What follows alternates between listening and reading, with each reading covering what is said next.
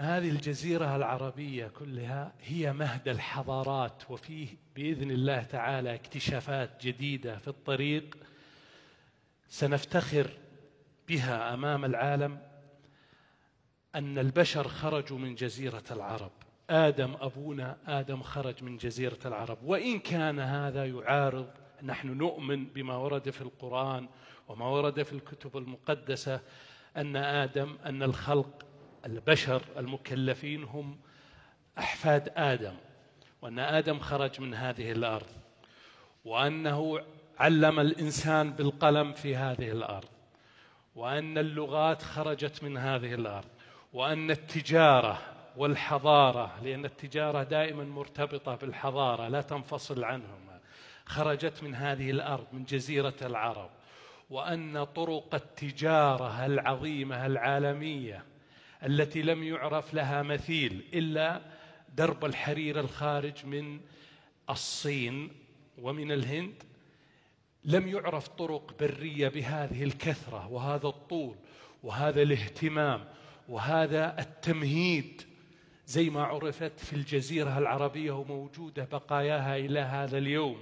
حضارات سبأ حضارات معين حضارات القتبانيين الحضارمة حضارات كندة حضارات الآراميين حضارات الدادانيين واللحيانيين والأنباط حضارات آه، تيمة كلها حضارات الثموديين حضارات الجرهائيين. الجرهاء حضارة الجرهائيين اللي موجودة في ثاج في المملكة العربية السعودية. الآن هي للأسف لم يبدأ التنقيب فيها لكنها محوط عليها وسترابو المؤرخ الإغريقي ذكرها بالتفصيل والآن وجدت البنت اللي تسمى أميرة ثاج اللي وجدنا معها 17 كيلو ذهب تكتبون أميرة ثاج.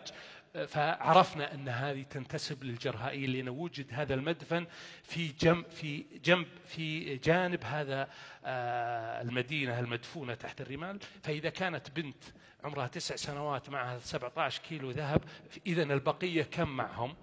إذا الآن بدأوا المؤرخين يعرفون النتاج. هي هي حضارة الجرهائيين اللي ذكرها سترابو أن أبوابها مرصعة بالذهب.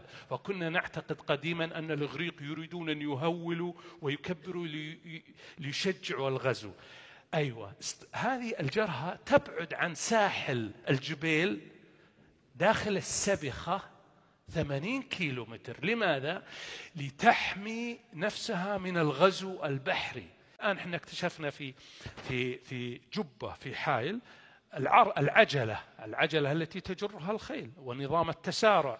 عمرها سبعة آلاف سنة ثمانية آلاف سنة. والمستشرقين قالوا لا أن الهكسوس قبل أربعة آلاف سنة هم اللي اكتشفوا العجلة. هذا دليل أن العجلة اكتشفت في الجزيرة العربية في في الفحص طبعا. فحص الكربون المشع وفحص البوتاسيوم المشع يكشف لنا المادة. أيضا اكتشفنا الآن في العلا عربات كبيرة نظام تسارع عجلات كبيرة وصغيرة في مكان يقال له قاع الصنيع. لم يذكر لم يعلن عنه سنعلن عنه لاحقا في خطى العرب الجزء الثالث. إذا كل شيء خرج من الجزيرة العربية. لا غروة وليس سرا أن الجزيرة العربية تحوي أكثر من ثمانية لغات ثماني لغات الآن مكتوبة على جميع الصخور. في وقت لم يكن العالم فيه لغات لم يكن فيه لغات بهذه الكثرة. بلاد النيل فيها لغة واحدة الهيروغليفية والعراق فيها اللغة السومرية لكن عندنا ثمان لغات.